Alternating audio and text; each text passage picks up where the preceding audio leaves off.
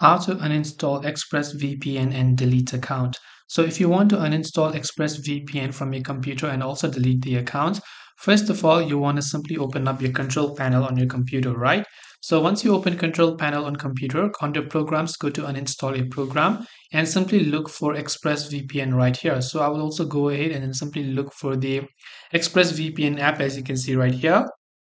After you've done that, you can just hit the uninstall button once you click on uninstall, you can click on the yes option and then it will ask you for a couple of questions, but I will just select uninstall right here to uninstall my ExpressVPN account.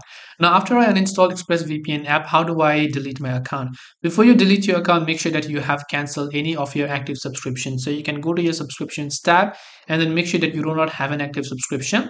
And after you cancel a subscription, if you're on iOS, you can simply open the app, go to options and go to accounts, tap on delete your account and select yes, delete my account.